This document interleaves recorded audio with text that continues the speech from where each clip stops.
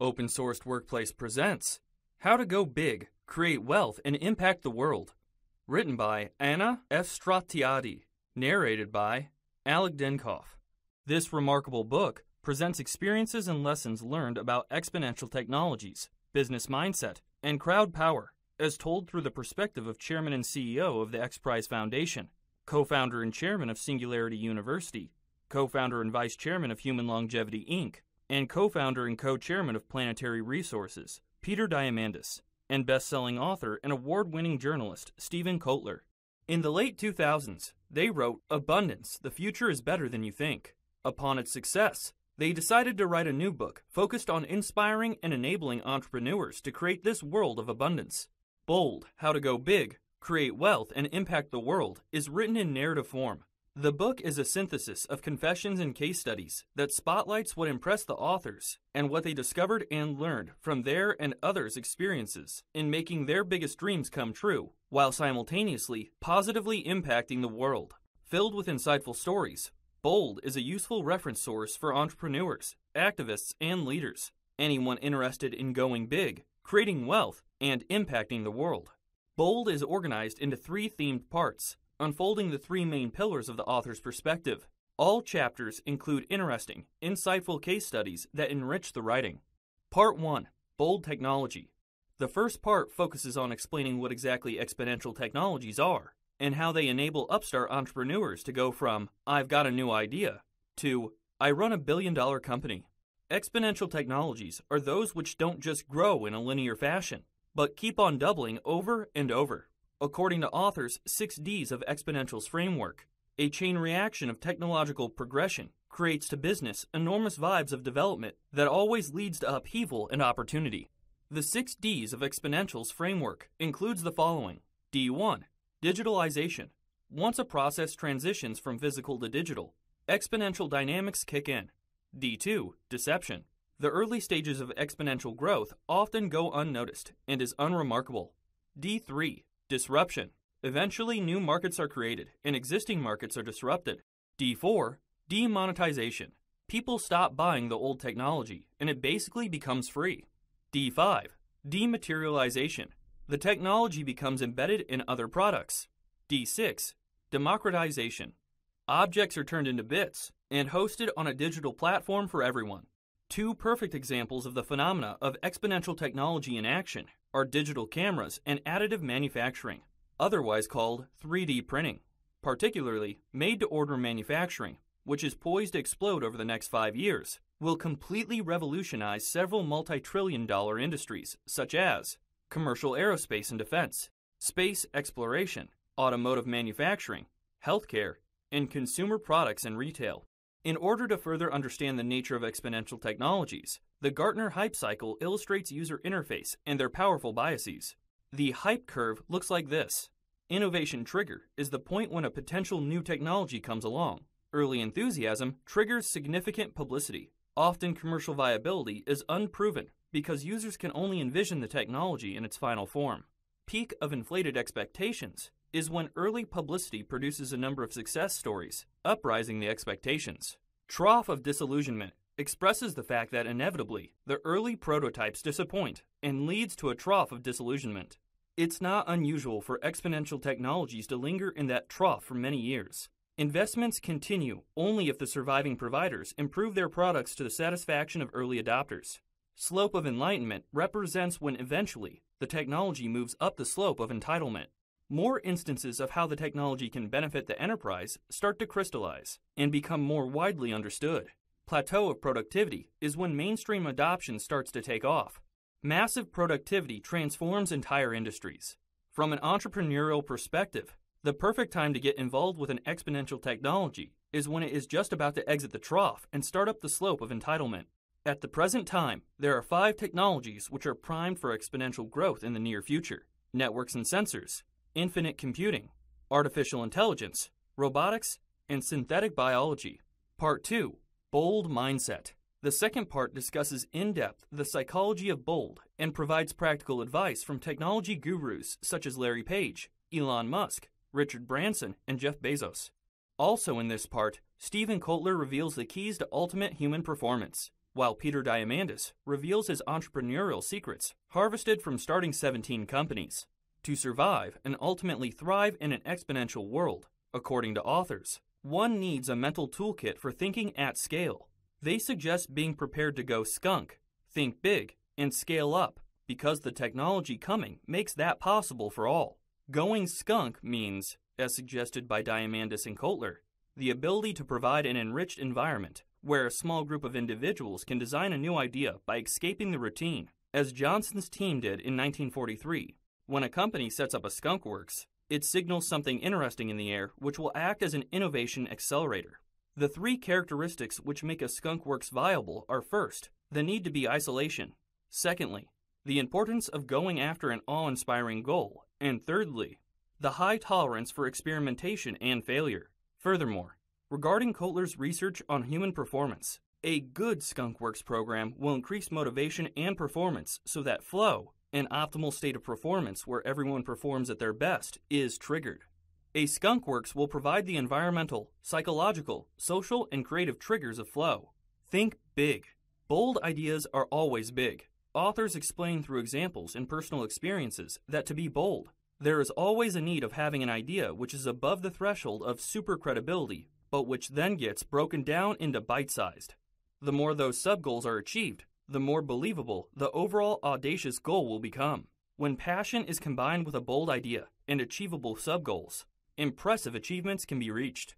Peter Diamandis says, Thinking always ahead, thinking always of trying to do more, brings a state of mind in which nothing is impossible, and continues by saying that, over the years, I started collecting principles and truisms that have guided me in times of difficulty and opportunity. The maxims, Peter's laws, are the ones that have worked for me, but that's no guarantee they will work for you. So come up with your own. Borrow from anyone you like. Start collecting mind hacks by examining your own life and seeking what worked. Peter's laws 1. If anything can go wrong, fix it. To hell with Murphy. 2. When given a choice, take both. 3. Multiple projects lead to multiple successes. 4.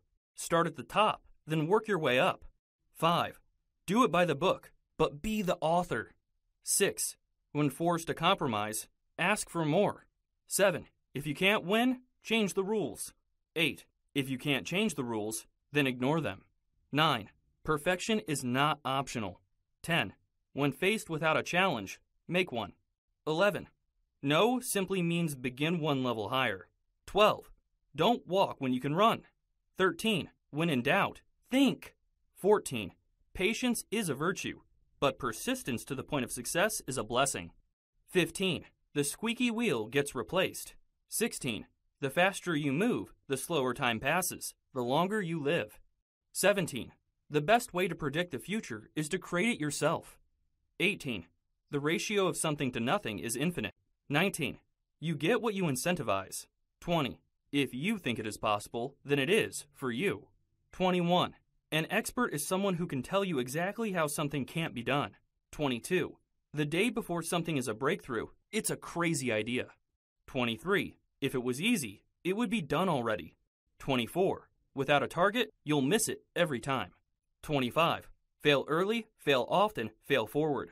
26. If you can't measure it, you can't improve it. 27. The world's most precious resource is the persistent and passionate human mind. 28. Bureaucracy is an obstacle to be conquered with persistence, confidence, and a bulldozer when necessary. Scale up by studying and analyzing successful entrepreneurs who built multi billion dollar companies that changed the world. Authors noticed that all of them pursued bold ideas. Billionaires like Elon Musk, Richard Branson, Jeff Bezos, and Larry Page all use the same following eight mental strategies to think and act at scale 1. Risk taking and risk mitigation. 2 rapid iteration, and ceaseless experimentation. 3. Passion and purpose. 4. Long term thinking. 5. Customer centric thinking. 6. Probabilistic thinking. 7. Rationally optimistic thinking. 8. Reliance on first principles, aka fundamental truths. Through their case studies, authors presented detailed advice and lessons on how to raise the game by thinking at scale. Part 3 The Bold Crowd. The last part of this book talks about today's hyper connected crowd and possesses a particular emphasis on essential best practices on how to leverage the incredible emerging crowd power. Although the entire book is rich with lessons on exponential technologies and thinking at scale, this part focuses specifically on people's communications and the use of crowd powered tools. To perform today's emerging exponential technologies and interact with today's hyper-connected customers, there are four things a firm should be done instantly. 1. Start figuring out how to use crowdsourcing to speed up business. The fact that, over the next decade, approximately 3 billion people will start using the internet for the first time means that the crowd is becoming hyper-connected and hyper-responsive to an extent never before seen in history. A direct consequence of this phenomena is the flourishing and massive use of crowdsourcing. There are now some very powerful tools which are available to everyone, while at the same time, crowdsourcing companies like Freelancer.com and Tongal are growing strongly. Some very useful practices of crowdsourcing, as suggested by the authors, are do your research, just get busy, turn to the message boards, be specific, prepare your data, qualify your workers, keep roles clear, simple, and specific, communicate clearly, in detail, and often. Don't micromanage. Always go for quality first. Prepare for the flood. Be open to new work methodologies. 2. Learn how to make use of crowdfunding to raise the capital needed. One of the greatest limits to starting a new business has always been the ability to raise the money required to operate. In today's economy, what has changed thanks to crowdfunding is that millions of backers have already poured billions of dollars into startups through crowdfunding, and this trend is going to rise exponentially. The four main types of crowdfunding proposed by the authors, each based on what the investor receives in return for contributing to fund a campaign, are donation, you give a worthy cause money and expect nothing in return. Debt, you provide funds, which will be repaid with interest. Equity, you ask investors for cash in return for stock in your company. Reward or incentive, the funder provides money to support the creation of some product or service they intend to use themselves or which inspires them. 3 build communities, and use them to tackle big and bold challenges. Peter Diamandis and Steven Kotler believe that communities are now empowered to tackle jobs which are impressive in scale and scope. The chances of doing something bold increase significantly by building an exponential community. One of the most important characteristics of these communities is that they can be self organizing. They're built on reputation economics rather than financial exchanges. Communities comprise a way to find others and to create a platform which will serve firms' needs and tackle bold challenges, either for building a business or for dealing with social challenges. Communities of believers can be a great asset and the perfect way to be bold and undertake bold projects. 4. Run incentive competitions to generate the breakthroughs you need. Finally, referring to crowd power, one of the most powerful mechanisms available for solving big and bold global challenges is to run incentive competitions, a tool used by powerful companies and successful exponential entrepreneurs. Incentive competitions are incredibly powerful. They raise visibility and attract new ideas and financial backing for potential solutions. This mechanism pulls together the use of exponential technologies, thinking at scale, crowdsourcing genius, providing opportunities for crowdfunding, and stimulating the creation of DIY communities. They really only work if the objective is clearly set but not yet understood how to be achieved. The big three motivators which will attract teams to compete in the incentive competition will generally be money, recognition, and frustration with the status quo. And as authors conclude, the design of the incentive competition has to deliver on each of those key motivators so as to be successful.